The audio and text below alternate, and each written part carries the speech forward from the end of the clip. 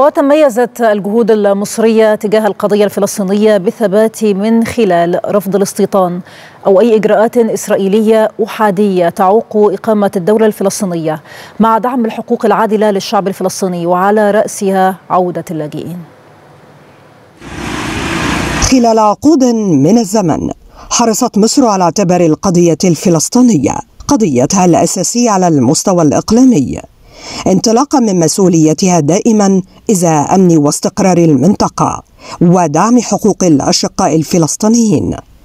مصر كانت ولا تزال تتحرك بشكل متزامن دائما مع كافة القضايا الخاصة بالملف الفلسطيني حيث نجحت دائما في الحفاظ على مواقف أساسية ثابتة ترفض الحلول الأحادية التي تعيق إقامة الدولة الفلسطينية مثل الاستيطان والإجراءات التي تتخذها إسرائيل في القدس مع دعم الحقوق العادلة للشعب الفلسطيني وعلى رأسها حق العودة للاجئين.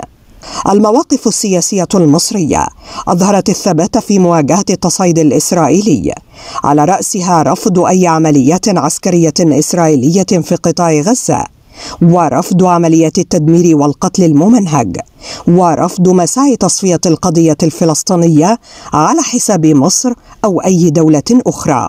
الموقف المصري الداعم للأشقاء الفلسطينيين ظهر بوضوح على لسان الرئيس السيسي الذي أعلن بشكل واضح أن تهجير الشعب الفلسطيني لسيناء يمثل خطا أحمر بالنسبة لمصر. وقد أكدت مصر منذ اللحظة الأولى على أن هذا التصعيد يضر بالأمن الإقليمي للمنطقة ككل وليس فقط بالداخل الفلسطيني. في الوقت نفسه وضعت مصر خارطة طريق تضمنت تصورا شاملا لحل جذور الصراع العربي الإسرائيلي.